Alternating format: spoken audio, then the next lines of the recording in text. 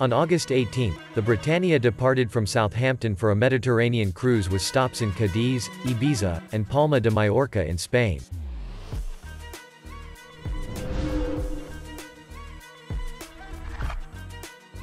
On August 27, 2023, in Palma de Mallorca, where the liner was moored, a storm suddenly struck with heavy rain and hail, accompanied by strong winds up to 55 miles per hour.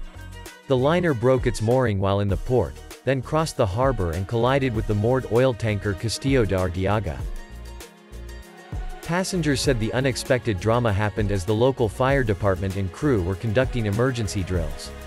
At about 11 a.m., sudden rain and a storm blew the ship off its moorings, damaging tether lines, water hoses, and causing the walkway to fall into the sea.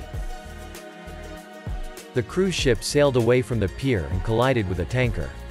There was a frenzy on board as the sunloungers started to roll over. The rain was so heavy that passengers couldn't see anything from the ship's windows.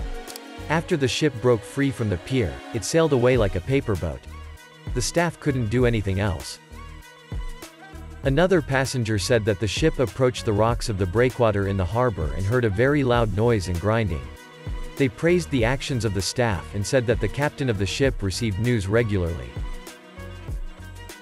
It was reported that a small number of people on the British ship received minor injuries and were being treated at the onboard medical center.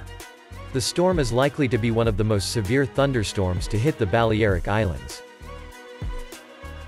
Heavy rains and wind gusts up to 120 km per hour hit the islands. According to Spain's airport operator, these conditions have led to the cancellation of more than 20 flights. The captain informed the passengers that there are no structural failures on the ship, but the fifth deck received minor damage, through the public address system. A spokesman for P&O Cruises said they were aware of the incident with the ship and were working to assess the situation. Citizen McCoy said that everyone was safe and there were no problems on the ship, except for a few scratches and bumps on one or more lifeboats protruding from the ship. Many people who go on bus excursions will be able to return to the cruise ship later. Passengers will have access to in-flight entertainment and activities while technical teams evaluate how the ship was damaged in the storm, P&O said. The cruise started in Southampton and should return by September 1.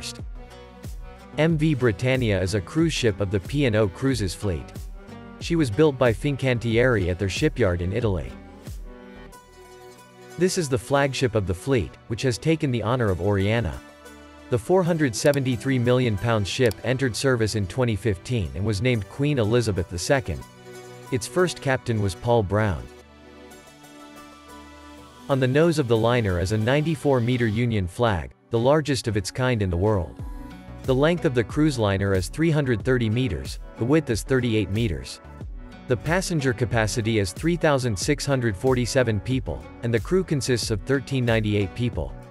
During the summer season, Britannia visits the Mediterranean Sea, the Norwegian fjords, the Baltic, the Canary and Atlantic Islands.